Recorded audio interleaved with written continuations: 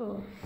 Um, so we thought we'd take this drawing of the entrance to Wimbledon Station and just expand it up, scale it up, and use that as the background, and then use the textures from the, the rubbing to collage over the top there. And then use Sue's people traced on to get more textures, and then stick them over the top. So it's the busyness and the layers of the town onto the drawing. Cool. Do you think it evokes the emotions that you were feeling? What were you feeling when you were drawing? What was the experience? Um, yeah, you realise how busy it is and how sort of fast moving and just that there's an awful lot going on. So it's quite nice that you've got all the different textures and all the different aspects and things.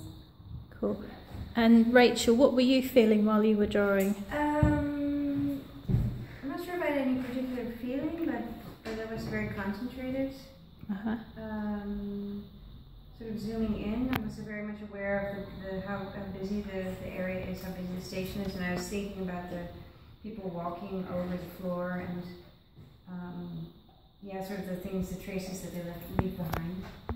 So that so you're drawing by, by making a trace or, or by you know taking a sort of um, sample of the floor of sort of people drawing the floor and then me drawing the traces of the people walking.